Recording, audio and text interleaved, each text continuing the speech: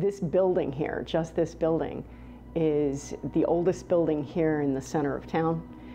Uh, St. Albans uh, has been serving the community for 120 years. That's pretty special.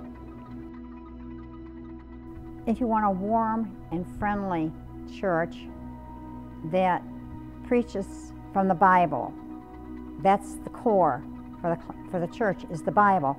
And we can draw strength from it.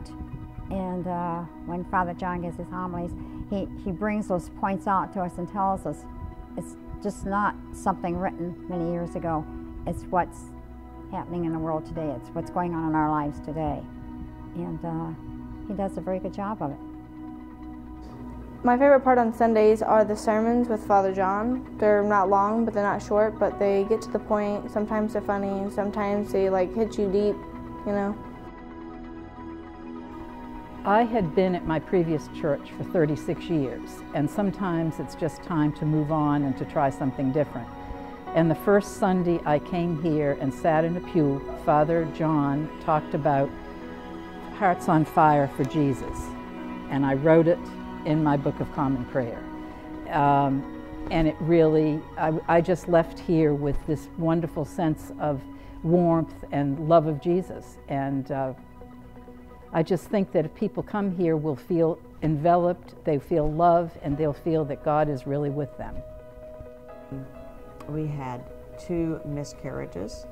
The doctor told us, you're getting older, because we did start later in life. You're getting older, you're going to keep trying, keep trying. Uh, and either that night or shortly thereafter, I know I was given a vision that I was pregnant. And Deacon Betty later confessed that she had a vision that day that I was pregnant. And that third pregnancy resulted in Joshua, mm-hmm. who is now 17 years old, or will be very shortly. Mm-hmm. Very, very fulfilling experience, very spiritual. Comfortable church.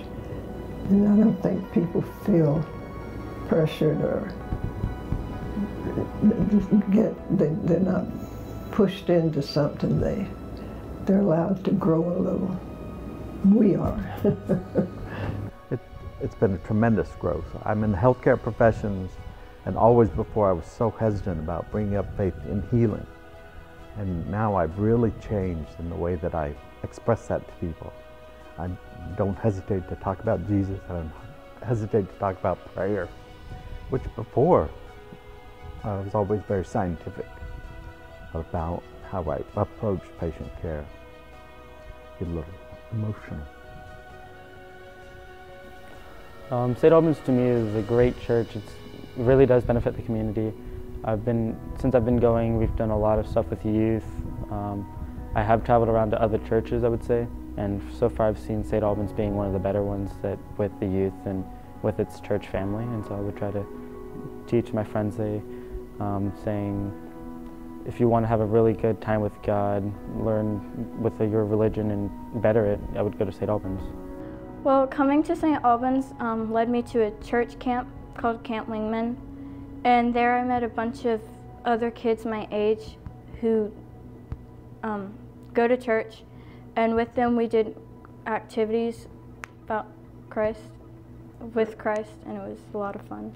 Camp Wingmann, uh, um, I love it. It's amazing, and it really helped me grow in my faith. I, I met a lot of good people there. All of them are just, they're great uh, people to look to as I grow up.